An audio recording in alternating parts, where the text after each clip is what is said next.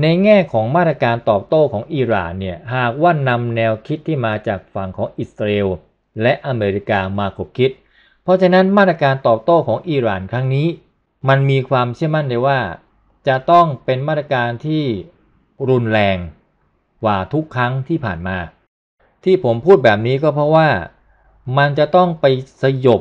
การทหารของอิสราเอลเกือบจะทั้งหมด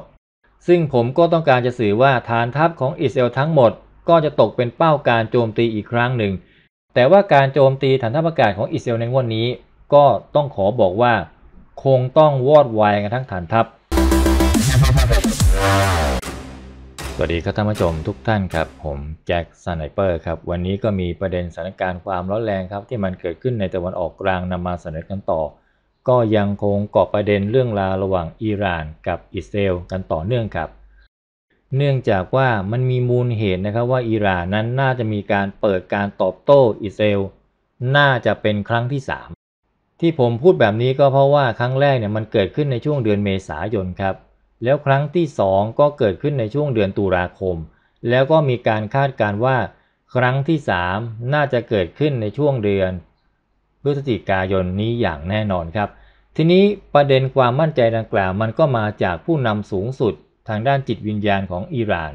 ก็คือคามานีครับคามานีนั้นก็มีการมากล่าวกับนักศึกษาในกรุงเตหะรานนะครับ ทีนี้คำพูดของผู้นำสูงสุดของอิหร่านนั้น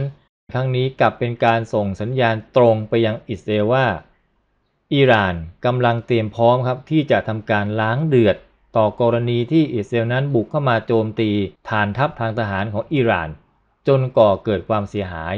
ซึ่งมันก็เกิดขึ้นในช่วงเดือนตุลาคมที่ผ่านมา เรียกได้ว่ามันก็เป็นการโจมตีอย่างสายฟ้าแลบนะครับครั้งแรก แล้วก็โดยตรงต่ออิหร่าน โดยกองทัพต่างชาติซึ่งมันก็จะมีลักษณะคล้ายคลึงกับสงครามที่มันเกิดขึ้นกับอิรัก เมื่อประมาณทศวรรษปี 1980 ทีนี้ผู้นำสูงสุดของอิหร่านนั้นก็ไม่ได้ให้รายละเอียดที่เกี่ยวข้องกับวันและเวลา หรือว่ารูปแบบการโจมตียังรวมถึงขอบเขตการโจมตี เพียงแต่บอกว่า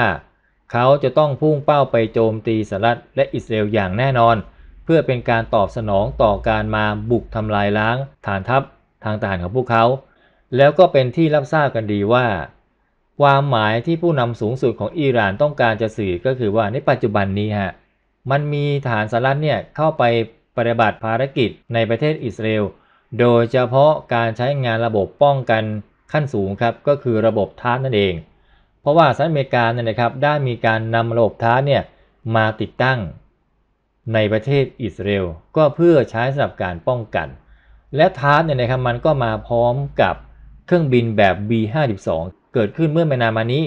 สหรัฐอเมริกาก็ต้องการส่งสัญญาณชัดเจน เช่นเดียวกันว่า หากอิหร่านหรือว่ากลุ่มนรบตัวแทนเนี่ยนะครับ เปิดศึกแล้วก็ลามมาถึงสหรัฐอเมริกาในตะวันออกกลางเมื่อไหร่เนี่ยนะครับ อเมริกาเนี่ยก็จะเอาด้วย แต่ว่ามันก็จะเป็นการตอบโต้โดยความเหมาะสม แต่ยังไม่ได้หมายถึงว่าอเมริกาจะมีการไปก่อสงครามท่านผู้ชมครับ เรื่องนี้ก็ต้องขอประเมินสถานการณ์อย่างนี้ฮะอิสราเอลกับอเมริกาก่อนที่พวกเขาจะเปิดฉากบุกเข้ามาโจมตีฐานทัพทหารของอิหร่าน ซึ่งเขามีความเชื่อมั่นเลยว่าการโจมตีในวันนั้นนะครับ โดยเฉพาะในช่วงเดือนตุลาคมเนี่ยเขาต้องการทำให้อิหร่านสิ้นฤทธิ์ซึ่งหมายถึงว่าอิหร่านเนี่ยจะต้องไม่มีระบบป้องกันพนอากาศ เพื่อใช้สำหรับการโจมตีในระลอกที่ 3 หรือในระลอกที่ 4 ที่มาจากฝั่งของอิสราเอลทำให้อิหร่านต้องมีความอ่อนแอ แล้วก็พุ่งเป้าไปโจมตีโครงสร้างที่เกี่ยวข้องกับภาคผลิตขีปนาวุธของอิหร่าน มันก็จะเป็นการไปสกัดยับยั้งอิหร่านนะครับ ไม่สามารถทำให้โครงการขีปนาวุธนั้นจเจริญเติบโต โดยที่จะต้องหยุดชะงักลงไป ทีนี้กลับย้อนมาถึงอิหร่านกันบ้างครับ ในแง่ของมาตรการตอบโต้ของอิหร่านเนี่ยหากว่านำแนวคิดที่มาจากฝั่งของอิสราเอลและอเมริกามาขบคิด เพราะฉะนั้นมาตรการตอบโต้ของอิหร่านครั้งนี้ มันมีความเชื่อมั่นได้ว่า จะต้องเป็นมาตรการที่รุนแรงกว่าทุกครั้งที่ผ่านมา ที่ผมพูดแบบนี้ก็เพราะว่ามันจะต้องไปสยบการทหารของอิสราเอลเกือบจะทั้งหมด ซึ่งผมก็ต้องการจะสื่อว่าฐานทัพของอิสราเอลทั้งหมด ก็จะตกเป็นเป้าการโจมตีอีกครั้งหนึ่ง แต่ว่าการโจมตีฐานทัพอากาศของอิสราเอลในงวดนนี้ ก็ต้องขอบอกว่า คงต้องวอดวายกันทั้งฐานทัพ สาเหตุที่พูดแบบนี้ก็เพราะว่าอิหร่านก็คงต้องแสดงความประสงค์แล้วครับ ไม่ให้อิสราเอลต้องใช้เครื่องบินลบต่อไป สนามบินรันเวย์ทุกแห่ง หรือแม้แต่โรงเก็บอากาศยานทุกแห่งยังรวมถึง ตัวอากาศยานครับที่มันจอดอยู่บนรันเวย์ต้องถูกทำลาย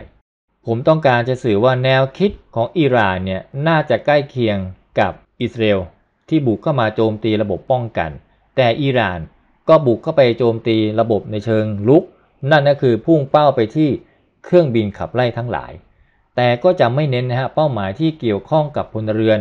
คือต่างฝ่ายเนี่ยต่างก็มีแกลบช่องว่าง ที่ต้องการสื่อให้ชาวโลกเนี่ยมองว่าเฮ้ยฉันถูกลังแกนะ แล้วเขาเนี่ยเล่นเฉพาะภาคการทหารเท่านั้น ไม่ได้เกี่ยวข้องเลยนะ กับทางด้านเศรษฐกิจ ปัจจุบันนี้ยังไม่เกิดขึ้น แต่ท่านผู้ชมครับ อนาคตมันไม่แน่ หากว่ามาตรการที่อิหร่านนั้นบุกเข้าไปโจมตีอิสราเอลครั้งนี้มีความเชื่อมั่นเลยว่า ขีปนาวุธนะครับไม่ต่ำกว่า 4,000 ลูกครับ ต้องบุกเข้าไปโจมตีเป็นละลอกละลอกจนกว่า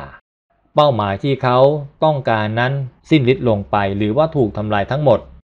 ถ้าหากว่าไม่เป็นเช่นนั้นแล้วครับ อิหร่านก็คงต้องถูกอิสราเอลโจมตีอีกครั้งหนึ่ง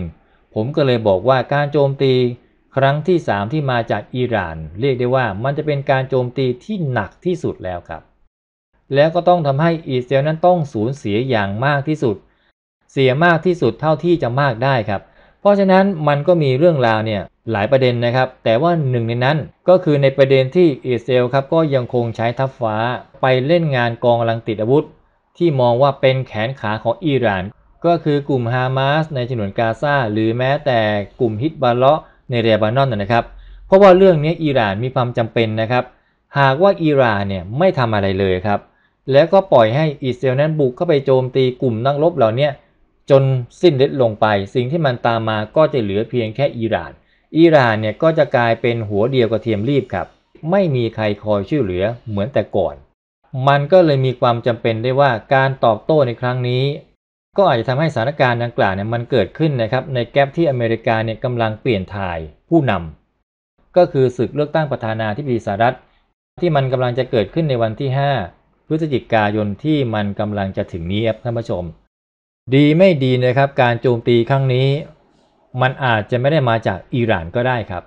แต่มันอาจจะมาจากกลุ่มฮิตบัลเลาะก็ได้มาจากกลุ่มฮามาสหรือแม้แต่มาจากกลุ่มฮูตีก็ได้ มันก็จะเป็นการผสมผสานการโจมตีที่มาจากหลายทิศทาง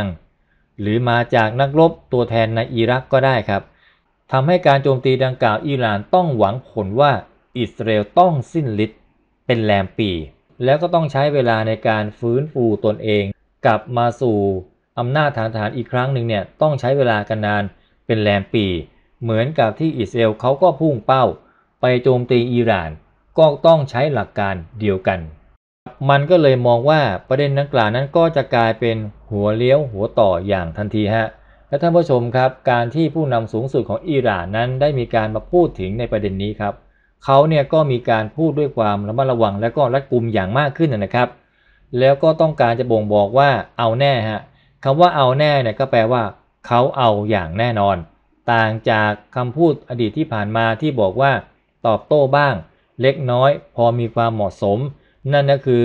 การให้อิสราเอลนั้นบุกเข้ามาโจมตีฐานทัพพวกเขาพวกเขาก็จะมีมาตรการในการป้องกัน แต่บังเอิญว่าอิสราเอลครับเล่นหนักไปหน่อยนะฮะ ก็เลยทำให้อิหร่านเนี่ยอาจจะแสดงความไม่พอใจก็ระดับหนึ่ง อีกเรื่องหนึ่งอย่างที่กล่าวว่าอิหร่านคงไม่นั่งทนดูเฉยๆนะครับ ให้กลุ่มนักรบตัวแทนของพวกเขาเนี่ยต้องถูกบทขยี้นะฮะไปทีละกลุ่ม 2 กลุ่มจนหมดไป